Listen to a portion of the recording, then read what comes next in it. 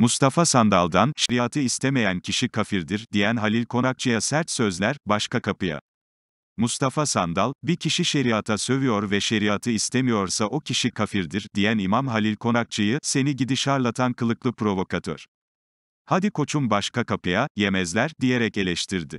Yaptığı açıklamalarla sık sık gündeme gelen İmam Halil Konakçı, son olarak, ülkede acilen Müslüman ve kafir tanımının yapılması lazım. Bir kişi, şeriata sövüyor ve şeriatı istemiyorsa o kişi kafirdir, dedi. Konakçı'nın sözlerine tepki göstere Mustafa Sandal, seni gidi şarlatan kılıklı provokatör, ifadelerini kullandı. Halil Konakçı konuşmasında, bu ülkede acilen Müslüman ve kafir tanımının yapılması lazım. Bir kişi, şeriata sövüyor ve şeriatı istemiyorsa o kişi kafirdir. Bu kadar basit. Acilen Müslümanlara kafirin tanımı yapılsın. Dine girmek var, çıkmak da var, bunu sokacağız akıllarına anlata anlata. Bizim görevimiz beyinlerini çatlatırcasına anlatmak. Müslüman buna denir, kafir buna denir, dedi.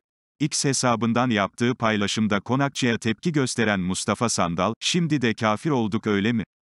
Seni gidi şarlatan kılıklı provokatör.